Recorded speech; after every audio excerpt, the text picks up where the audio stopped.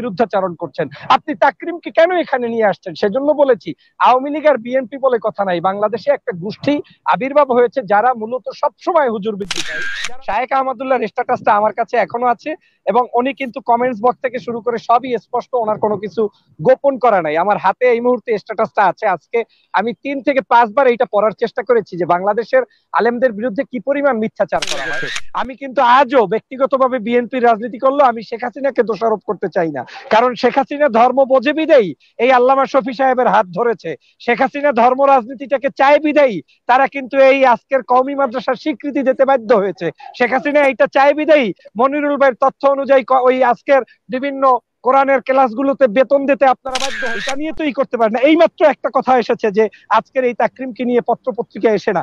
বাংলাদেশের পত্র পত্রিকাগুলো কোনোদিন ইসলামের পক্ষে সুন্দরভাবে আর্টিকেল লিখেছে মঞ্জু ভাই, দেখাতে পারবেন এটা কেমন বক্তব্য দিলেন। এদেশের পত্রিকাগুলো তো আবিষ্কারই হয়েছে, মনে হয় যেন আপনাদের দুই লাইন, পাঁচ লাইন ইসলামের বিরুদ্ধাচরণ করতে পারলেই মনে হয় যেন তাদের সাংবাদিকতা জায়েজ হয়। অত দেশেও এখন থেকে স্বাধীনতার আগেও এদেশের খেলাধুলা ছিল হাফ প্যান্ট পরেছিল ফুল প্যান্ট পরেছিল ইনডোরে ছিল আউটডোরে ছিল আজও আছে, ভবিষ্যতেও থাকবে। এ নিয়ে আলেম সমাজ কোনোদিন বাধা দেয়নি। যদি বাধা দিত, তাহলে এই যে আমাদের আল্লামা মুফতি আবু রহমানি সাহেব বললেন যে, আলেম এই নারীরা বিভিন্ন জায়গায় অগ্রগতি হচ্ছে গার্মেন্টসে চাকরি পাচ্ছে, রাস্তাঘাটে যাচ্ছে, কই?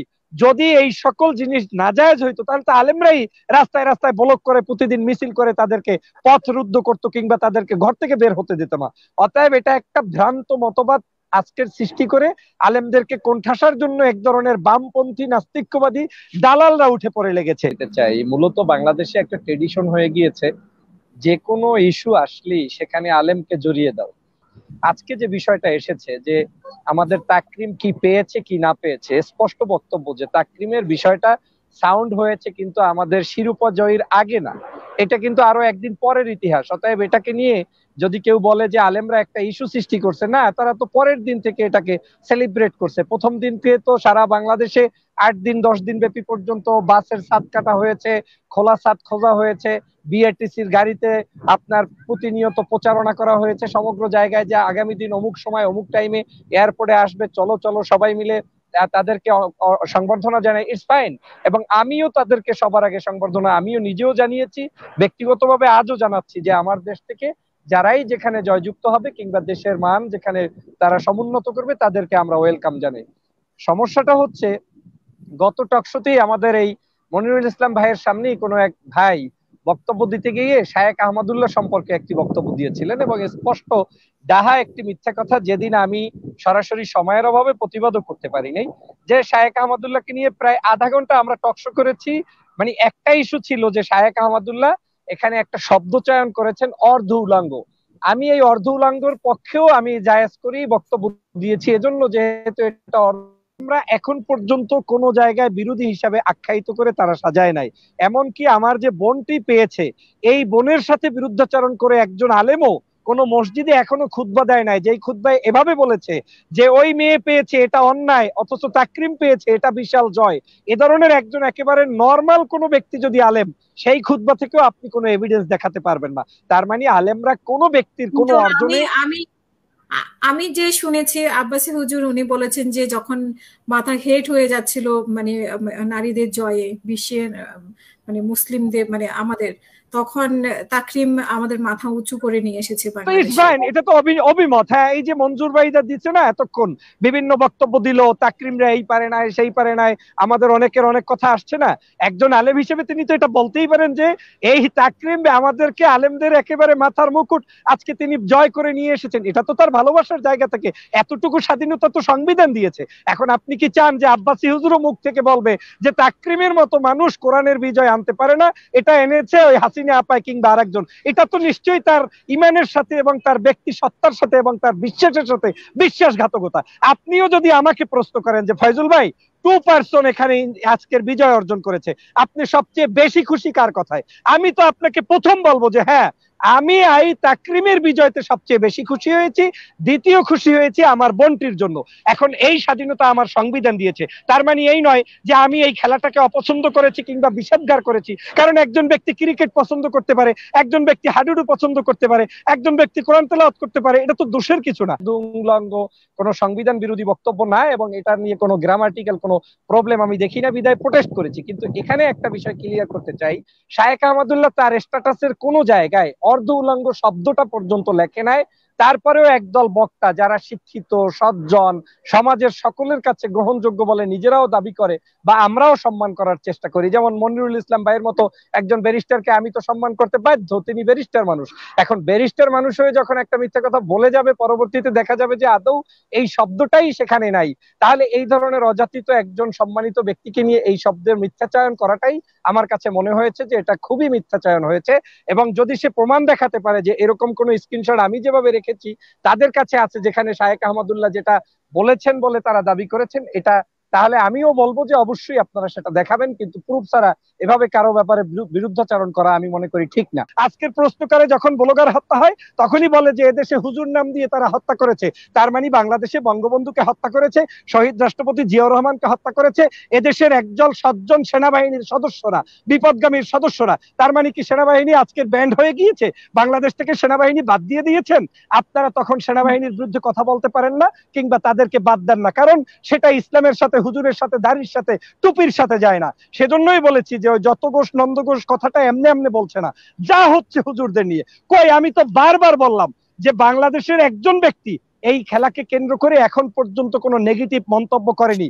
শায়েক আহমদুল্লাহ থেকে শুরু করে মিজানুর রহমান আজহারি থেকে শুরু করে প্রত্যেকে যার যার টাইম লাইনে স্ট্যাটাস দিয়ে অভিনন্দন দিয়েছে পর্যন্ত। এমনকি বলেছে যে এই বিজয় যারা অর্জন করেছেন, তারা এই অর্জন করে বাংলাদেশকে সফল করেছেন। পাশাপাশি এই বিজয়কে নিয়ে যারা বিতর্ক সৃষ্টি করে, ইসলামের বিরুদ্ধাচারণ করেছেন, তাদের বিরুদ্ধেও তারা সমালোচনা করেছেন। এইটা তো তাদের অন্যায় না।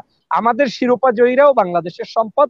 কোরআন, হাদিস চর্চাকারীরাও বাংলাদেশের সম্পদ কিংবা গীতা কিংবা ত্রিপটি যে যা পাঠ করবে, সেটা দিয়ে যদি ভারতে গিয়ে আমার দেশের কোনো হিন্দু ব্যক্তি ভারতে জয়যুক্ত হয়ে আসে, আমাদের নাগরিকদের অধিকার আছে, হিন্দু ভাইদের অধিকার আছে, তাদেরকে ক্রেস্ট প্রদান করা, সংবর্ধনা দেওয়া, ঢোল তবলা বাজানো, যা ইচ্ছা সেটা তার মন্দিরের মধ্যে করবে, কারণ this is his right according to সংবিধান। যারা মূলত সবসময় আলেম বিদ্বেষী, যারা সবসময় ইসলাম বিদ্বেষী, যাদের কৃষ্টি কালচারটাই হচ্ছে, সমাজের কোনো হুজুরের কিছু পাইলেই মনে হয় যেন যুদ্ধ শুরু হয়ে যাবে। আপনার সমাজের অন্যায় অবিচার জুলুম নির্যাতন এই সমাজের যত কার্যক্রম রয়েছে তার বিরুদ্ধে তো আপনি কথা বলেন না তার বিরুদ্ধে তো আসেন না। সেটা না হয় তাহলে শাহবায়কের মহানায়ক সেই ডাক্তার এই ইমরান সাহেব আজকের আওয়ামী লীগের নিশ্চয়ই উপদেষ্টা মন্ডলীর কেউ না কেউ থাকতো। না হয় আওয়ামী লীগের কোনো একজন এমপি হতো।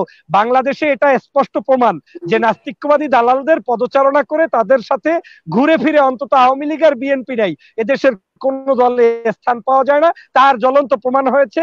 প্রতিমন্ত্রী মুরাদ সাহেব, যিনি তখন ধর্মের বিরুদ্ধে বলেছেন ইসলামের বিরুদ্ধে বলেছেন বিভিন্ন জায়গায় গিয়ে দাড়ি টুপির অপমান করেছেন আজকে তিনি অপমানিত হয়ে ঘরে বসে আছেন। আমি যে প্রসঙ্গটায় বলতে চাই যে মূলত বাংলাদেশের মানুষ একটি প্রোগ্রেসিভ ইসলামিক রাষ্ট্রে বসবাস করে। এটা হান্ড্রেড পার্সেন্ট মুসলমানের দেশ হলেও নব্বই পার্সেন্ট মুসলমানের দেশ হলেও এদেশের সমগ্র মুসলমানরা বিশ্বাস করে যে আমার মতো করে আমি ইসলাম পালন করব কিন্তু আমি ইসলাম ভালোবাসবো। হুজুরদেরকে ভালোবাসবো।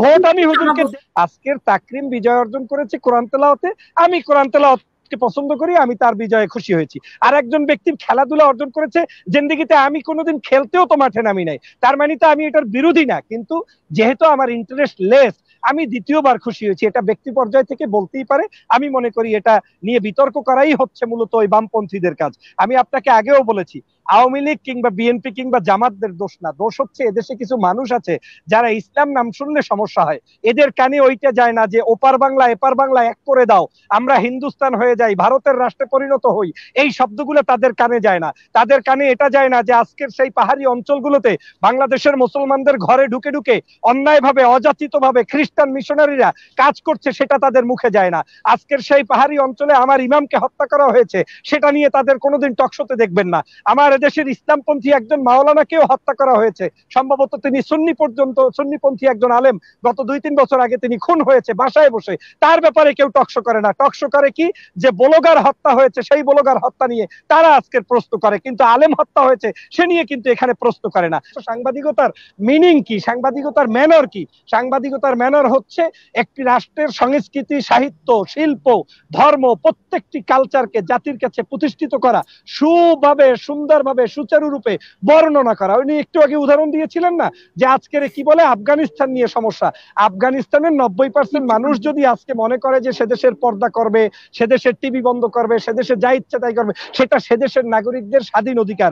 যেমনি ভাবে আমেরিকার নাগরিকরা কিরানের উপরে হাত রেখে তারপরে শপথ নেয়, সেখানের একজন প্রেসিডেন্ট শপথ নেয়, বাংলাদেশের রাষ্ট্রপ্রধান কোরআনের উপরে হাত রেখে শপথ নেয় না। এখন আপনি তো ইংল্যান্ডে থাকেন, গিয়ে আমেরিকার প্রেসিডেন্টকে বলেন যে এটা কেমন কথা? আপনি আপনার খ্রিস্টান ধর্মের এই বাইবেলকে আপনি হাত ধরে তারপরে নিচ্ছেন, আপনি এটা তো আমাদের ধর্মের সাথে বিদ্বেষী করছেন। কোথায় আমাদের সেকুলারিজম সেকুলারিজম মানি তো পাঁচটা, ছয়টা, ওইখানে বই থাকবে, কোরআন থাকবে, বাইবেল থাকবে, সবগুলোর উপরে হাত রেখে আপনি শপথ করবেন। তাহা, তাদেরকে তো এটা শিখাতে পারেন না। অতএব আপনারা এই ব্যর্থ মানসিকতা প্রসার করে বাংলাদেশের মূলত ইসলামপন্থী নাগরিকদের মধ্যে একটি বিভাজনের রাজনীতি শুরু করার একটি পায়তারা এটা যুগে যুগে ছিল। আজকে দেখেন, এখানে একটি কথা বলা হয়েছে, আল্লামা শফি সাহেব হুজুর যে কথা বলেছেন। আল্লামা শফি সাহেব হুজুর আগেও বলেছি কোরআন, হাদিসের আলোকে এবং ব্যক্তিগত জায়গা থেকে তিনি মত প্রকাশ করবেন। আজকে যদি ব্যক্তিগত প্রত্যেকটি মতকে অন্যায়ভাবেই আপনি ধরেন, তাহলে প্রতিনিয়ত আপনারা বলছেন, লগি বৈঠা নিয়ে মানুষকে হত্যা করতে। আপনারা বলছেন, আজকের খেলা হবে। আপনারা বলছেন, মাঠে আসো, এই হবে। এগুলা কোনোটাই সংবিধানের ভাষা না, কিংবা কোনো রিলিজিয়াসের ভাষা হতে পারে না। এমনকি সভ্য জাতির ভাষা হতে পারে না। কিন্তু এইগুলাও কিন্তু সমাজে ব্যবহার হচ্ছে। কিন্তু সেই ব্যবহারের জায়গাগুলোতে আপনারা সমালোচনা করছেন না। আমি কিন্তু যখনই কোনো ধর্মের বিষয়ে আলোচনা হয়, তখন আমার দলের পক্ষে কথা বলতে যাই না। কারণ আমি জানি যে আমার দলও বলতে পারবে না যে হান্ড্রেড পার্সেন্ট মুসলমানদেরকে ভালোবাসে খুব একটা প্রতিষ্ঠিত কোনো একটা দল। আমি এটা আমি আমি আমি শেষ করছি। আমি এটা বিশ্বাস করি যে ধর্মের জায়গায় ধর্মপ্রাণ মানুষরা রাজনীতি করবে সমাজনীতি করবে সব করবে। কিন্তু যখন ধর্মপ্রাণ মানুষরা টকশোতে আসে তখন তাকে বলা হয় হুজুর আপনি অস করতে আসছেন কেন? যখন ধর্মপ্রাণ মানুষ ছাড়া ব্যারিস্টার সাহেব আসে তখন তাদেরকে বলা হয় লয়ার। কিন্তু আমার দেশের একজন ইসলামপন্থী নাগরিকদেরকে এভাবে করেই প্রত্যেক পদে পদে অপমান করা হয়। আমি মনে করি আমি যেটা সর্বশেষ আমার যেটা উপসংহার টানতে চাই, সেটা হচ্ছে বাংলাদেশের প্রত্যেকটি অর্জনকে আমরা সম্মানিত করতে চাই। আজকে যেটা সিনহা সাইদ সাহেব বলেছেন স্পষ্ট করে বলে দিয়েছেন যে শেখ হাসিনা কিংবা খালেদা জিয়া যেই হোক না কেন, তাদের উচিত হবে এদেশের একজন খেলোয়াড় যেভাবে জিতে আসবে তাকে নিয়ে সংবর্ধনা দেওয়া, পাশাপাশি একজন কোরআনের হাফেজ অথবা বাইবেল কিংবা ত্রিপটের যদি কেউ জয়যুক্ত হয়ে আসে তাকেও সংবর্ধনা দেবে। পাশাপাশি আরেকটি কথা আপনাকে বলছি, আমাদের এই তাকরিমকে নিয়ে বাংলাদেশের এমনকি এই বামপন্থী পত্রপত্রিকাগুলো পর্যন্ত বাধ্য হয়েছে এবছর মানুষের উচ্ছ্বাস এবং ভালোবাসা দেখে, তার ব্যাপারে লিড নিউজ করতে প্রতিদিন তাকরিম কি খায়?